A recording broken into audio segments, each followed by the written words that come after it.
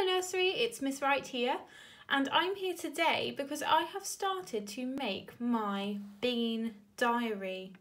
So every week I'm going to be posting a new picture of my runner bean plant to see how much it has grown. Now this week is week number one, okay, and I have planted my bean.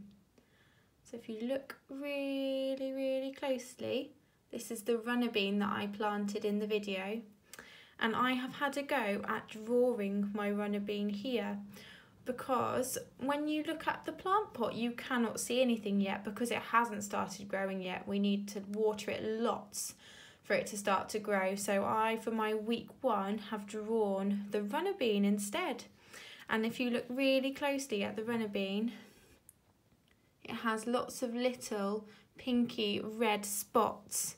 So I have drawn my runner bean in black with some red spots.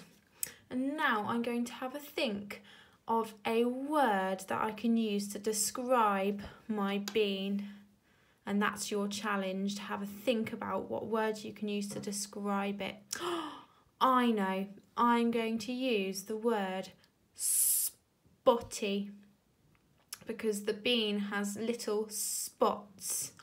Now let me have a think.